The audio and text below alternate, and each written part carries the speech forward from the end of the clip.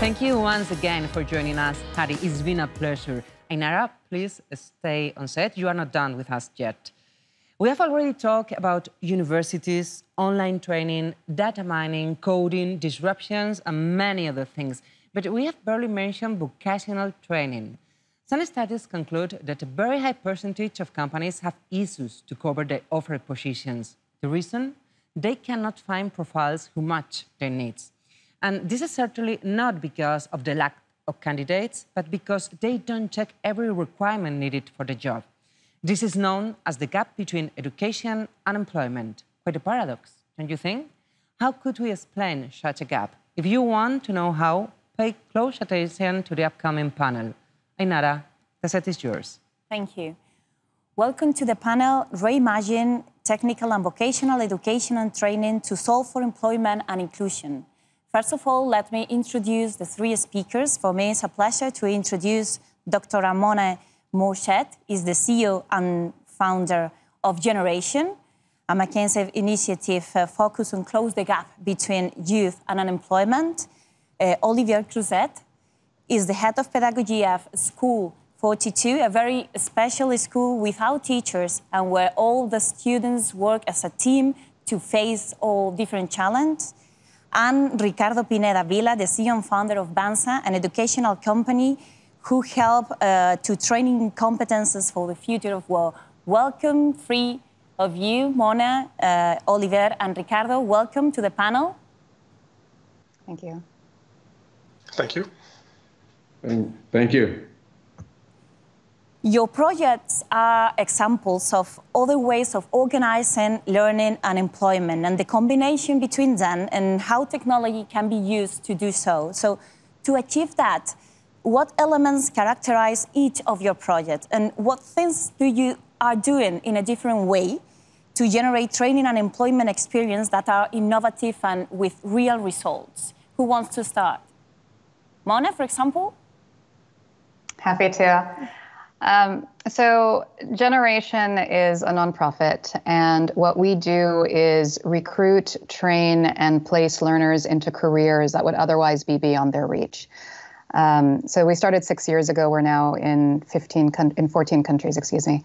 And what we do is a full methodology that goes that starts with pre-confirming job vacancies in 26 professions across our countries. We then have um, boot camps that are four to 12 weeks long, and it varies by the profession. And what we're doing is supporting our learners to master the activities that they'll need to perform at a high level in their chosen profession. In parallel, we offer social support services. And then once our learners have completed the program, they then interview with our employer partners, and then we continue to support them and to track their progress once they're on the job. And so, what we found is that to support those learners that face the most challenge, it is critical to be able to deliver these seven components together so that we can ensure their success. Thank you. Olivier? Well, um, about about 42. It's a school that have been created seven years ago in Paris, France, and now it's uh, uh, 32 campuses all around the world. And uh, uh the main two big differences that you can find in uh, uh, this ICT training in higher education. at first, it's a very unusual selection process. we want to detect ICT talent regardless the school background and regardless the educational background. So it means that the school is completely free for the students, and also there is no degree requirement to apply to, uh, to 42. And during the selection process, we do have a, a special uh, four weeks long uh, immersion, uh, just like a, a, boot camp that is called La Piscine, it's a French word for swimming pool. Uh, and uh, during these four weeks, the students are discovering our second very special point, it's our pedagogical model. In 42, as you already mentioned, there is no teacher, there is no lecture, there is no MOOC, and our students are facing software development challenges. Uh, they need to look for information, to filter this information, because online it's very easy to find a lot of obsolete or irrelevant or false information regarding ICT and regarding coding.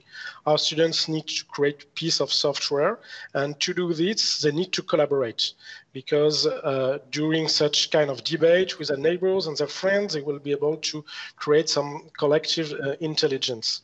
All our uh, um, curriculum is completely gamified and uh, our students progress at their own pace on their own path so uh, it's something that is very unusual regarding the classic uh, academia uh, training that you can find in university or in engineering schools uh, in France.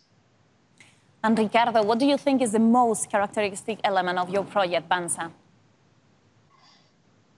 Well, Ainara, first of all, thank you so much for this invitation. I hope I can learn a lot from Mona and, and Olivier.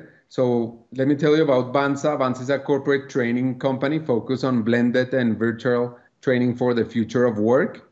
And more than that, we are focused on increasing the productivity of different companies in Latin America and also improving people's life through education.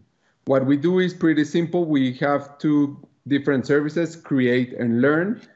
Uh, create, we create on, online educational content. That means educational game, podcasts, educational videos, and so on for, for different companies.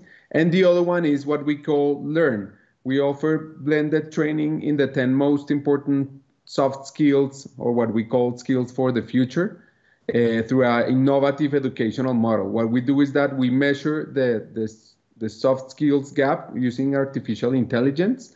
Then the students receive micro learning or short learning capsules every day so they start like a new habit of learning. We use gamification, so they they improve and they see the results, and then they they met with the teacher, with the coach, and they facilitate all the learnings with the different students.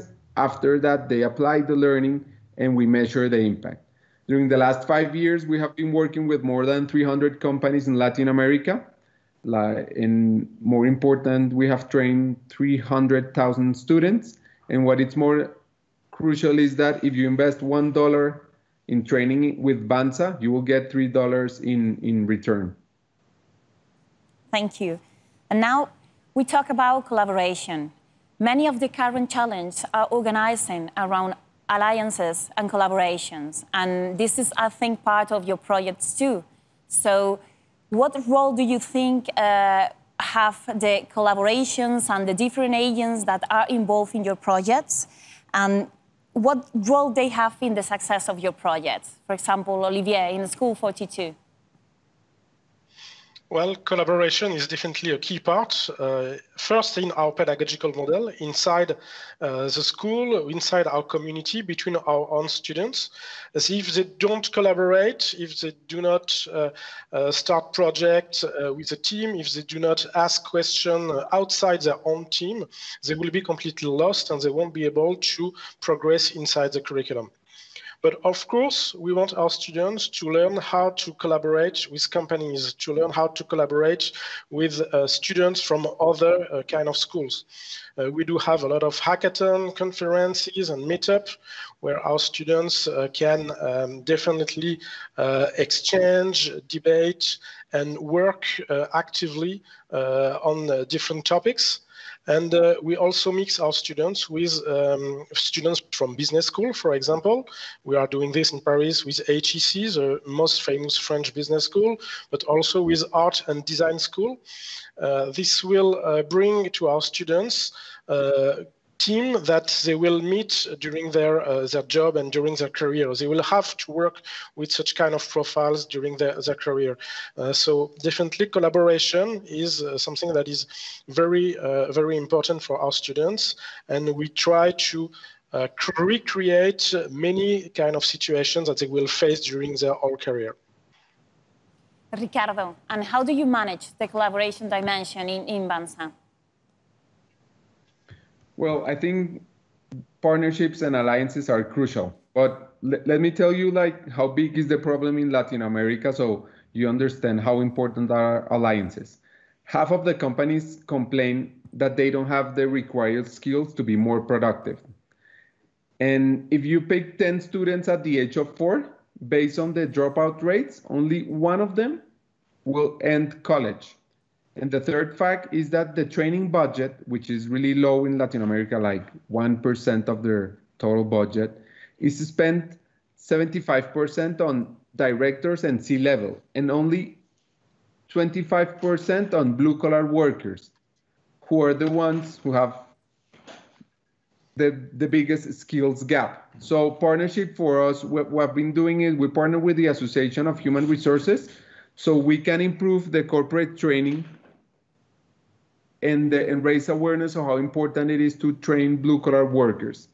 And second, we partner with uh, the most important NGO in Colombia, which is Fundación Corona, that is focused on education for work, to understand why people stay more time in their job. And we, we found out really interesting things that we are sharing. So people start improving the, the skills for the base of the pyramid in Latin America. So we need to solve this vicious cycle of low income, low productivity, and low education in Latin America through important partnerships. Mona, what's the role of the alliances in generation? Um, so when we designed Generation, it was very much from the spirit of how do we embed our methodology inside institutions that already exist in the education to employment system. So, for example, um, Generation partners with vocational or technical institutions um, in multiple countries across the world, whereby um, we are supporting their instructors um, to teach the Generation program. We also partner with nonprofits to work with us to provide the appropriate mentorship to our learners. Um, and we obviously partner um, with our employers. Uh, so today, Generation works with 3,000 employers um, across the world. Um, we have 75 implementation partners, and in that way, we've been able to now reach 38,500 graduates um, with an 86% job placement rate within three months. Um, and that's only possible because we've been able to literally embed ourselves inside the community infrastructure. So now let's talk about the last part of the title of the, of the panel, the inclusion.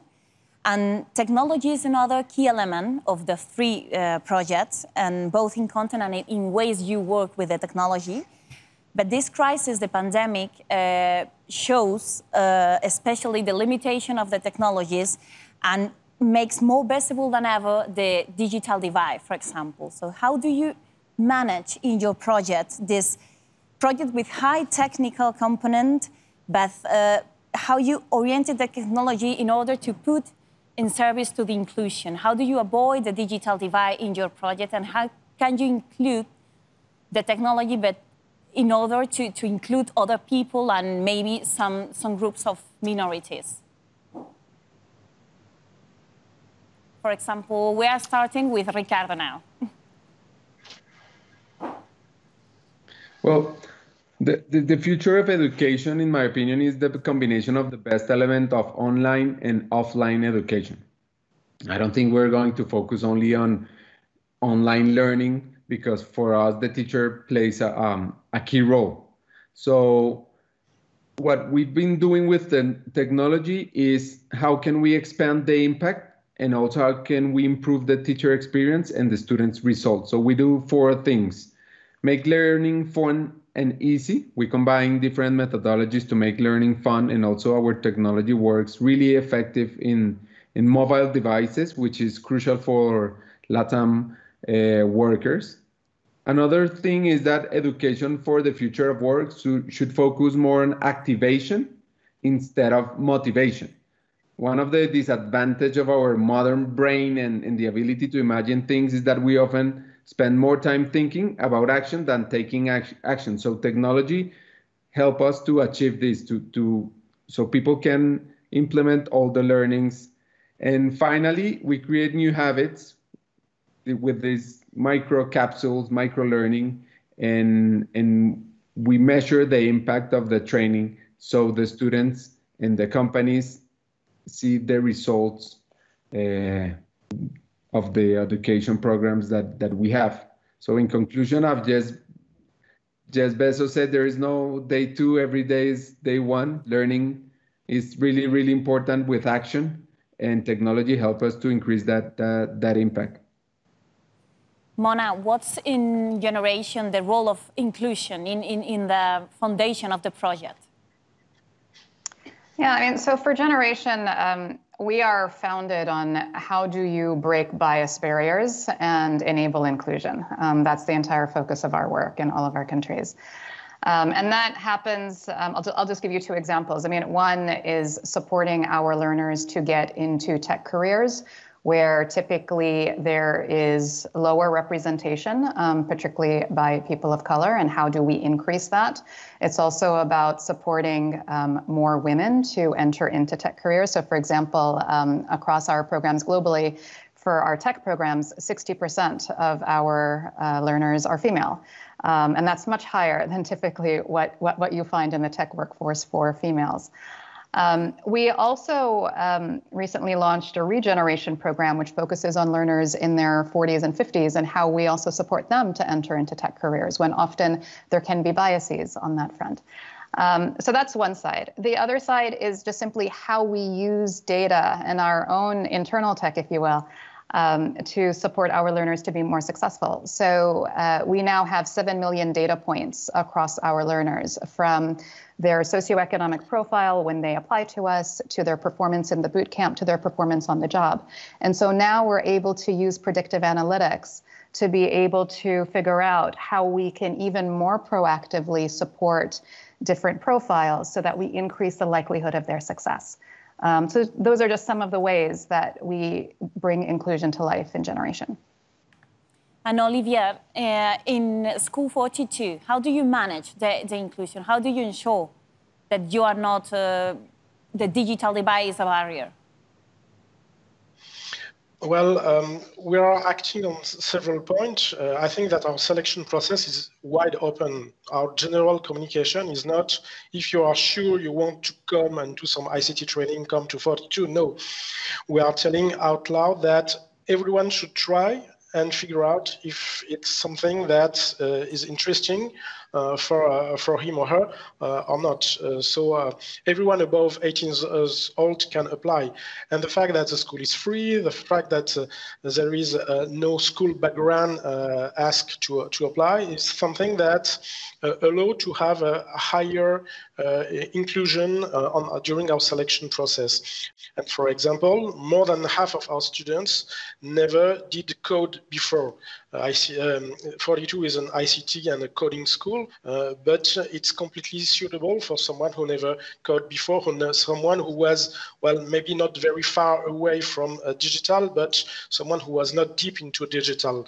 Um, also, we do have, uh, just like Mona, some action about um, uh, gender equality. We try to uh, attract more women. In France, it's usually no more than 15% or 20%, and we try to increase also this this number. and we also try to have inside our campuses a very um, warm welcome for anyone, uh, whatever the, the, difference of uh, each uh, individual.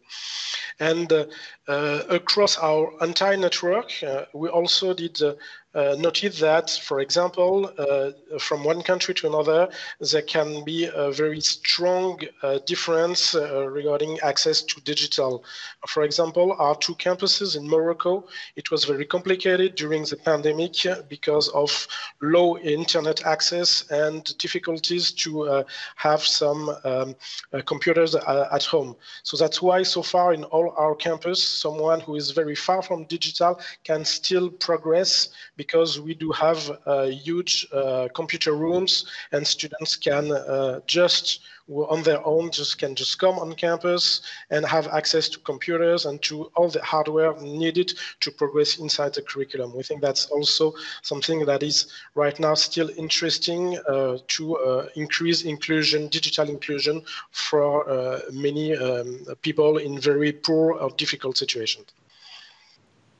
The three projects maybe are very attractive for the companies, maybe more than the traditional educational offer. So why do you think your project is so attractive to the companies, to the work uh, environment? Because what, why the, the projects are fits better with the dynamic of the companies, with the way the companies are working? Or what do you think is so attractive the project for the, for the company? Uh, Mona, for example, generation? What's the most uh, attractive sure. element? Sure. So, our commitment to our employer partners is that we are going to deliver high caliber talent that is going to be high productivity, that's going to achieve high quality outcomes, and that's also going to bring diversity to their workforce. Um, and whether it is about filling jobs where currently there's scarcity, or whether it is about reducing uh, attrition issues at the at the company. Not only are we providing that pipeline, but we're also measuring with our employer partners that we're actually achieving those goals. And it's that evidence base and continuously demonstrating it now, you know, across 26 professions in 14 countries, that um, that enables our employer partners to continue to be with us. Olivier, what's the most attractive element of your project to the companies? I think we at least have uh, exactly the same uh, element here. It's a very high pro- and um, instant productivity for the for the companies who are in deep need uh, of uh, ICT professionals. I think that also companies do like students from 42 and alumni from 42 because of uh, this agile state of mind that our pedagogical model uh, try to uh, give and to develop among our students. they will be able to solve new kind of problems. They will be able to be pioneer to think out of the box. And it's something that is very well appreciated for companies, and they can uh, do some uh, innovation based on this uh, different point of views among their salaries, uh, uh, employees, and with our, our own students. I think it's definitely why the companies like hiring our students after the, the curriculum. And Ricardo, what can you tell us about Banza? Well, I will say that our educational model is the, the best thing that, that we have. Uh, basically, what we do is measure the, the initial gap that the students have, then create new habits of learning, then combining the best things of offline education and online education, and then showing results to the to the to the company to see that training is a really good investment for them and their their employees. Um, how do you perceive in in this um, well in in this in that setting um, the combination between the traditional educational offer, for example, in universities, and the uh, educational offer that you are offering in your projects, and how do you uh, perceive the, the consistency between both in the same uh, labor market? Uh, Olivier, for example? Do you have relationship well, with universities? Actually, we don't have any kind of relationship with universities um, because they're very far from our pedagogical model. Uh, it's more private school in higher education who are way more interested in some kind of collaboration because they are already evolving and trying to adapt to uh, uh, develop the skills, the expected skills from the from the labor market. It looks like, at least in France, it's a little bit more complicated, and uh, I think that uh, anyway we still need to have some diversity in education. Our pedagogical model is not suitable for everyone. Not everyone uh, can succeed. Uh, and we are creating a different kind of elite, I would say. And uh, university should also be an uh, alternate path for other students that would like to also learn ICT, but maybe in a different way and with a, a different different approach. So I think that keeping this diversity in education is something that is still interesting. And for example, our students uh, are immediately uh, going to launch their career, and we do not have students who are going to do some uh, theoretical research, for example. And I think it's also something that uh, should be kept and uh, should not be completely uh, uh put apart. Uh, and uh, so both pedagogical models should, should exist, and maybe why not other and different pedagogical model also should exist, so everyone can find a suitable learning path for for him to lead them to a, a successful career. Mona, in Generation, what's this relationship? Do you have any relationship with universities or other uh, formal educational institution?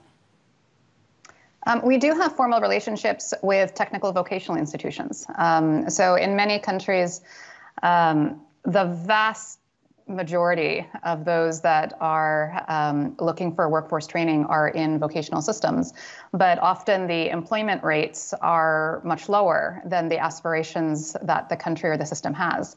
And so what we do is we, we work with these vocational institutions to embed our methodology um, in their classrooms and in their systems so that we can support them to increase um, employment rates and income gain for their learners. Um, what I'll say about universities more broadly, though, is that um, particularly in the wake of COVID and the mass unemployment that the world is now facing, people want jobs now. Um, and what that means is people are not going to be willing to invest in higher education unless they know that there is a job that is linked to it.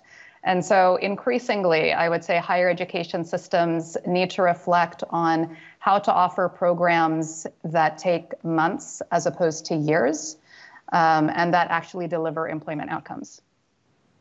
And Ricardo, in Banza, do you have any relationship with uh, educational institutions or universities? We, we work with some educational institutions. Basically, we, we help them solve the soft skills gap that some of the students have. And I, I think regarding your question, we need a lot of vocational training, universities, boot camps, different solutions in education that obviously are related to employment, but that are related to change the informal economy of in our region of Latin America half of the um, economy in, in Latin America is informal. And most of the adults who work in this informal economy didn't even finish primary uh, education. So we need to create new new educational models where people can, like in Germany, study, work, study, work, experience what it means to work, and and then go back and study and and create like new learning and career path not only between vocational training and, and university but also create like a career in in, in become like a master's in in something related uh, with vocational training education. And therefore we can change like the informal economy and, and increase the productivity and competitiveness of of latin america. So for me, they're crucial for the for the economy. Hmm.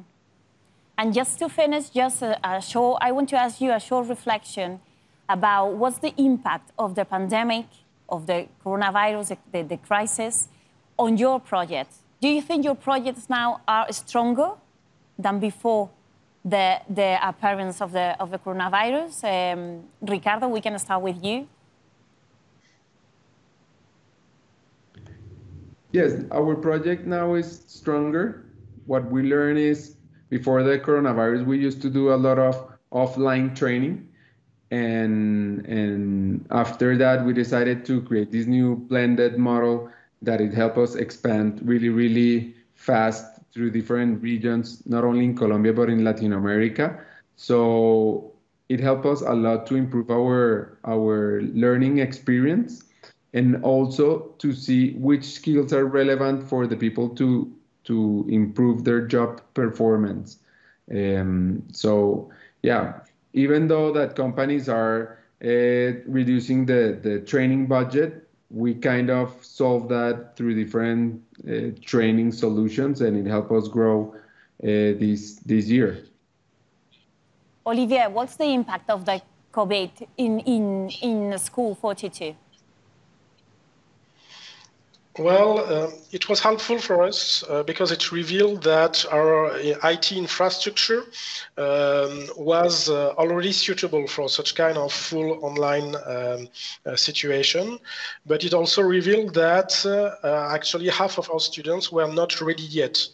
Uh, so uh, just right off out school, uh, newcomers, it was more difficult for them to switch to a full full online.